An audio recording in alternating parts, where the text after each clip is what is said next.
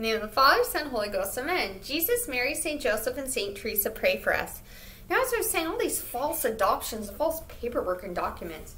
Christina Gallagher talks about this so much in her prophecies, how judges are going to sign false false things that are going to hurt people. And that's definitely happened to Asher and I in our relationship. My mom can't be more happy to separate Asher and I because the devil hates mother and child, especially. I know another lady, she's suffering because this, they put a witch, the government put a witch over her daughter.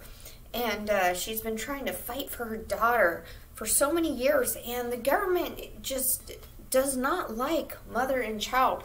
But I would advise anyone listening to please support the Mr. Moontree uh, tool fund. He's trying to build all these beautiful woodworking things, and I think this would be really good for him and for the whole world.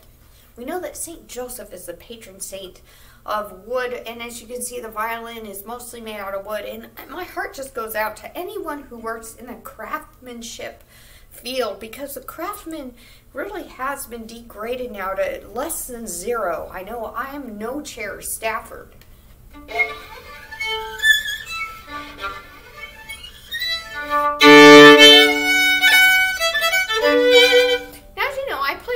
So the rosin is sort of relaxing out. It's not such a hot, uh, shrilly sound anymore, and that's basically because some of the rosin got taken out the bow. And it could be also because it has been the the weather change has set in a few days, and it's kind of probably had an adjustment there too. So there's a couple things.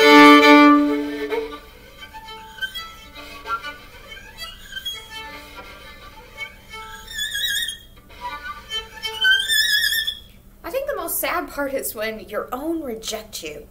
Not just the, the relatives with the stealing of Asher, but then you go back in the church, you've done your penance as much as you can, and they still reject you, and, and you start to see and wonder, like, okay, I know I sinned, but now it's the church we have to atone for. And a lot of this atonement has to do with patience.